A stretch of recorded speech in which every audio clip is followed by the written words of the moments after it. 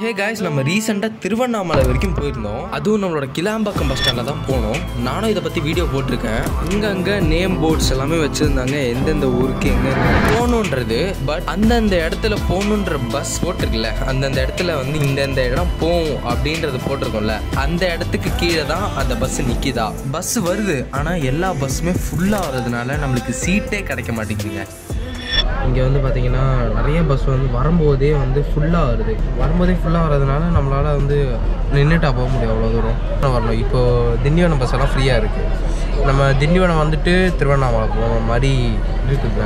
வரும்போதே வந்து திருவண்ணாமலை பஸ் வந்து இந்த மாதிரி ஃப்ரீயாக வந்ததுன்னா நம்ம வந்து ஏறலாம். ரெண்டு வேலை ஆகுதுல்ல திண்டிவனம் போயிட்டு திருவண்ணாமலை போகிறோம் அதுவும் பொங்கல் ஹாலிடேஸில் பொங்கல் முன்னிட்டு தான் இந்த பஸ் ஸ்டாண்ட் ஓப்பனே பண்ணாங்க. பட் இதெல்லாம் இட்ஸ் அப்புறம் அங்கேருந்து பஸ்ஸும் கிளம்பிடுச்சு.